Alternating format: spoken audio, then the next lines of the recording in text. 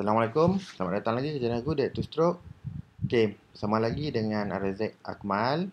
Right, kali ni aku nak uh, kira dia punya squish velocity. Okay, ni untuk head eh. Untuk dia punya data untuk dia punya head. Okay, sama ada sesuai ke tak Dia punya head yang dia bagi kat aku sekarang ni. Uh, Boleh pakai ke tak boleh pakai? Nak kena potong berapa banyak, angle berapa nak kena buat. Okay. Right So, sekarang ni Okay, sekejap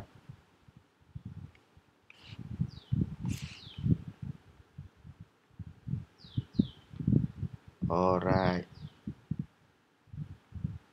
So sekarang ni ni dia punya uh, dia punya data, data engine dia. Okey. Data engine dia sekarang ni bore dia 57.5, stroke dia 56.8. Okey. Cuba sekarang ni kita masukkan dulu 54 yang asal dia sebelum dia buat. Okey. RPM dia tadi 8000 600 kot. Lebih kurang aku letak. Ni 64. Okey. Ni asal dia. Kan? Macam ni. Dia punya auto clearance memang macam ni. Aku dah uh, check tengok. Dia punya auto clearance dengan inner clearance dapat macam ni. Dan dia punya diameter dia dapat macam ni. So, kalau macam ni punya data, kita tengok. Dia punya uh, squish velocity dia pada before to dead center 10 degree. Okey, dia akan dapat 13.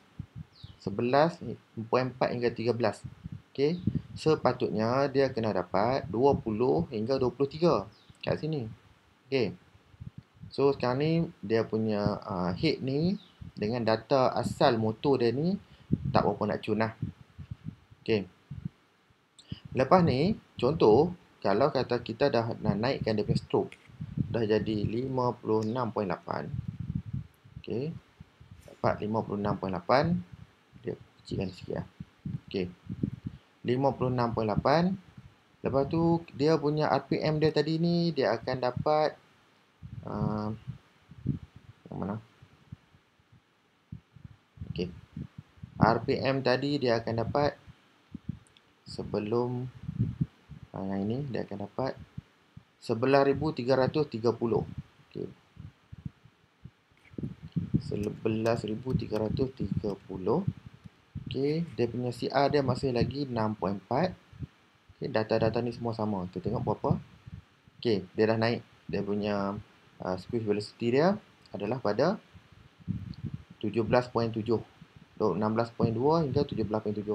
Ni dah semakin baik lah. Dia punya dia punya uh, squeeze velocity dia maksudnya head dia tu kalau kata tak nak potong pun masih lagi uh, boleh lah kalau nak guna. Okey. Tetapi sekarang ni aku nak kira berapa maksimum yang paling terbaik sekali hit ni kalau kita nak guna dengan potting yang bakal aku buat ni. Okey. So sekarang ni dia punya RPM yang kita akan pakai adalah uh, yang ini.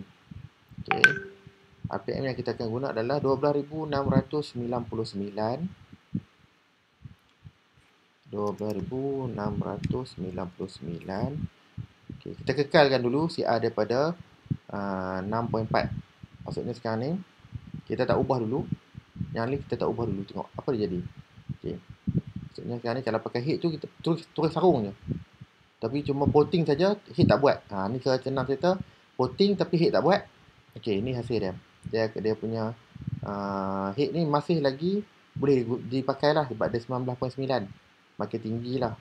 Makin tinggi dia punya ni dan uh, orang kata apa dia punya hasil power yang dia keluar pun okey lagi lah kalau macam ni.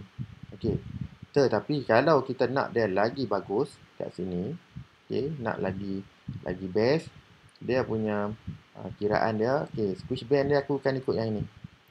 Squish band dia dia akan pakai 8.42 ni okey jadi tengah dia akan jadi 40.66 okey So sekarang ni dia punya uh, compression ratio dia akan jadi 7.09 Okay, ini tak ubah. Dia punya outer clearance ni Kalau kita kekalkan dulu tengok Ini jadi 40.66 Okay, so dia jadi Ratio dia adalah 50-50 lah. Dia punya uh, Pembahagian untuk dia punya Dia punya kawah dengan dia punya skill band dia Okey. Jadi tengok berapa dia punya dia punya uh, velocity dia terus turun. Nampak? Ha, kat sini dia terus drop. Bila kita naikkan CR. Ha, nampak kat sini. Kita main CR dekat situ, dia punya velocity dia drop. Okey, so macam mana nak counter balik sekarang ni? Okey, kat sini kita kena adjust dia punya dia punya clearance dia. Maksudnya angle dia kita kena ubah. Daripada 2.5 aku cuba letak 2.4. Okey, kecilkan sikit. Boleh terus nampak. Okey, 2.4 kau tengok kat sini. Aku enter. dia terus naik nampak? 16.9 ok so kita terus terus laju sikit lah. Kita letak 2 tengok kat sini. 2 mm clearance dia apa enter?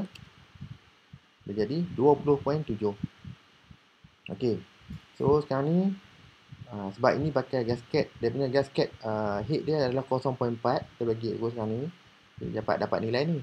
Okay, jadi uh, nilai uh, 1.1 kat tepi ni dah tak boleh ubah dah. Dia memang akan maintain 1.1 jadi boleh ubah kat sini je. Jadi kita cuba ubah dia jadi 1.8 Alright, bila buat 1.8 tengok. Terus dapat 23 Dia berada sekarang ni pada tahap yang paling optimum.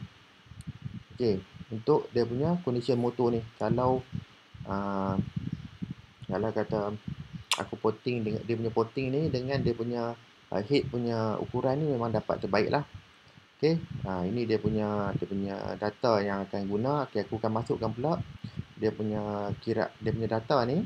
Okey tinggi dia punya uh, clearance ni kat dalam aku punya SolidWorks. Aku nak tengok pula berapa angle angle yang sesuai. Sebab kat sini squeeze angle kat sini 4.57 ni dia kira terlalu kecil sikit kat sini ha, kat dalam tu kat dalam sebab kadang-kadang kita punya dom uh, lain-lain. Uh, yang dalam ni dia tak kira dia punya tinggi dom jadi dia tak dapat tak dapat uh, yang tepat kat sini.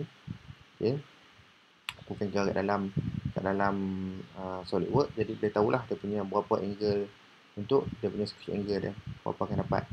Mungkin 9 ataupun 10 macam tu lah. Biasanya uh, tak lari jauh lah. 9, 10, 11 dia punya angle ni. Right. So itu saja. Aku punya video untuk kali ni. Semoga korang dapat uh, sesuatu lah daripada video ni. Right jangan lupa like, subscribe dan share. Assalamualaikum